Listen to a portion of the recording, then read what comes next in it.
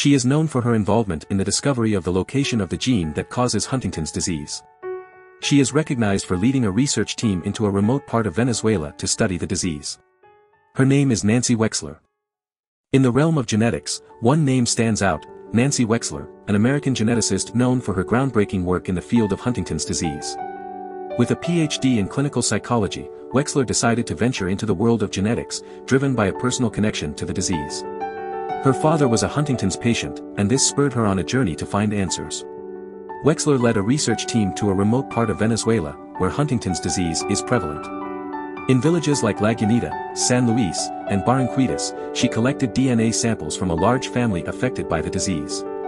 These samples would prove to be instrumental in a global collaborative effort to locate the gene responsible for Huntington's disease. The fruits of Wexler's labor were undeniable. She played a vital role in the successful creation of a chromosomal test that could identify carriers of Huntington's disease. This breakthrough not only provided a means for early detection but also opened doors for further research and potential treatments. Nancy Wexler's dedication and determination have forever changed the landscape of Huntington's disease research, giving hope to countless individuals and families affected by this devastating condition. Nancy Wexler, taking over her father's work, faced numerous challenges in her research on Huntington's disease. Her goal was to continue studying the disease, focusing on maternal and fraternal parents affected by it. For years, DNA was the primary tool used by researchers to investigate the DNA of Huntington's disease patients. In October 1979, during a workshop she hosted, Wexler came across the idea of using polymorphisms as markers. As she listened to key theorists explain their visions of gene hunting, the idea struck her. Inspired by this, James F. Gusella began his search for HD markers. It didn't take long for Gusella to discover the marker that could determine whether a person had Huntington's disease. Wexler provided Gusella with blood samples she had collected from individuals in Venezuela, and one by one, the samples confirmed the early findings.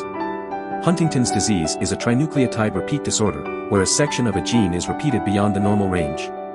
The HTT gene, responsible for the disease, is located on chromosome 4 at 4p16.3. Within the HTT gene, there is a repeated sequence of three DNA bases, cytosine adenine guanine, CAG. This repeated sequence codes for the amino acid glutamine, resulting in the production of a chain of glutamine called a polyglutamine tract.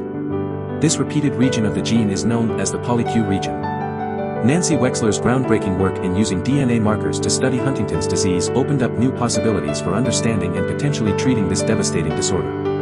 Her dedication and innovative thinking propelled the field of genetics forward, bringing us closer to unraveling the mysteries of Huntington's disease. Do you want to explore more scientists? Who do you want to see featured next?